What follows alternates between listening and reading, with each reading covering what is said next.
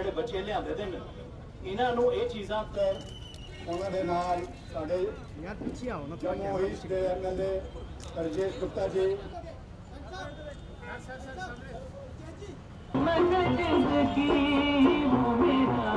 general Vikram Vikram Singh